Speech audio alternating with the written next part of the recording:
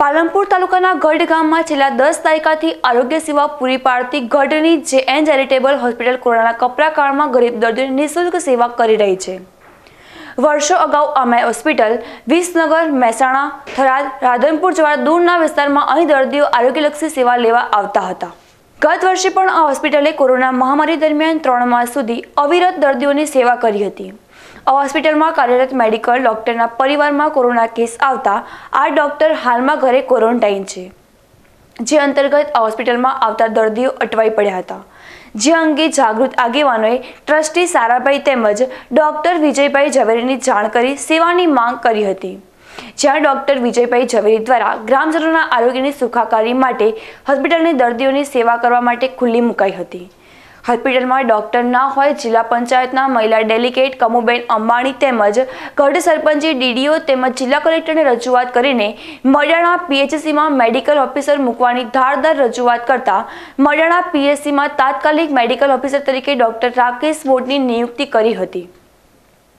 Doctor Rakesh મોઢ હાલમાં ઘટની જે N charitable હોસ્પિટલમાં હાલમાં ઓપીડી ચાલુ કરીને દર્દીઓની તપાસ કરી રહ્યા છે અને દર્દીઓને કેસ ફ્રી લેવામાં આવતી નથી. તેમાં દવા પણ ફ્રી આપવામાં આવી રહી છે. આમ મડાણા પીએચસી સેન્ટર દ્વારા અહીં સ્ટાફ મૂકીને લોકોને સેવા અપાઈ રહી છે.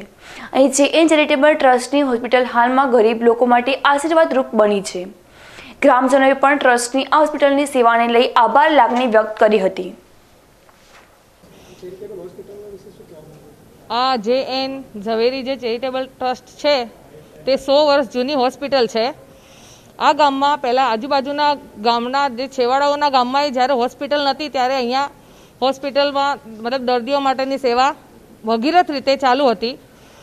પણ હાલ જે ડૉક્ટર અહીંયા હતા હાજરમાં, એમના ઘરમાં કોરોના પેશન્ટ આવેલા હોવાથી તે સેવા પૂરી પાડી શકતા ન હતા.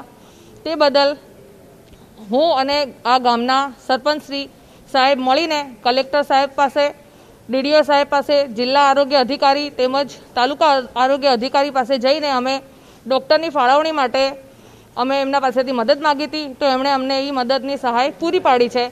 એ બદલ હું પહેલાં તો એ ચારેઓને ખૂબ ખૂબ આભાર માનું છું.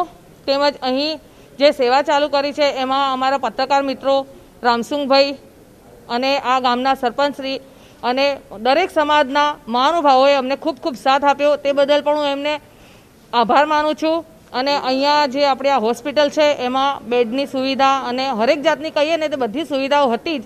તો આપણે આ કોરોનાની મહામારીમાં આ સેવા આપવાનું કામ શા માટે ના કરીએ? એ બદલ અમે આ બધી સેવા માટે, અમે અમારાથી બનતો અથાગ પ્રયત્ન કરવા તૈયાર છે. જે બદલ અને આ બધા અમને સાથ આપે તે બદલ બી એમને ખૂબ ખૂબ આભાર. અને બીજું, હું હાથ જોડીને મારા ગ્રામજનોને અને મારા વિસ્તારના દરેક નાગરિકને વિનંતી કરું છું કે અઢારથી ચુમ્માલીસ વર્ષની વયના દરેકનું રસીકરણ બે દિવસમાં ચાલુ થવાનું છે.